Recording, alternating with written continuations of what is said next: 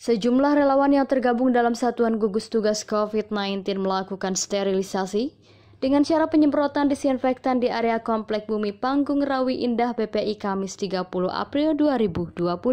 Anggota Satgas Gugus Tugas Ujang Syamsul mengatakan, kegiatan ini merupakan tindak lanjut dari temuan warga Cilegon yang positif terpapar virus corona. Setelah mendapati temuan ini, kami langsung melakukan rapat dan sesuai dengan prosedur, maka selain isolasi mandiri sekitar area juga kami semprot dengan disinfektan.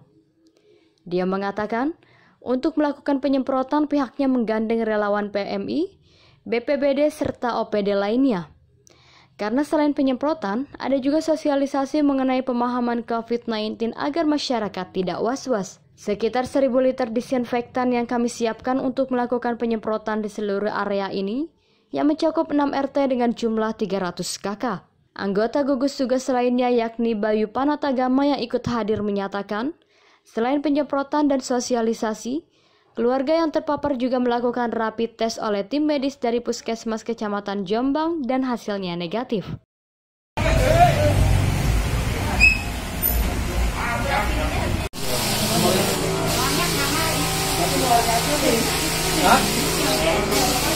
Ke dalam maunya aja